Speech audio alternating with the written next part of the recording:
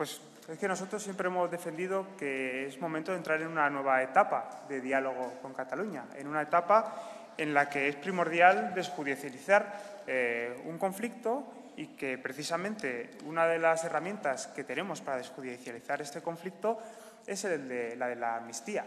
Y cuando hablamos de la amnistía, es que hablamos de la amnistía para todos. Hablamos también de la amnistía para una profesora que decidió poner una urna en una votación eh, un momento eh, en el que bueno, pues hubo una votación en, en Cataluña. Por lo tanto, nosotros vamos a seguir trabajando. Ya sabéis que tenemos un grupo de juristas trabajando en, un dictamen en lo que respecta eh, jurídicamente a esta opción y, desde luego, una apuesta firme por parte de Sumar por la desjudicialización del conflicto en Cataluña.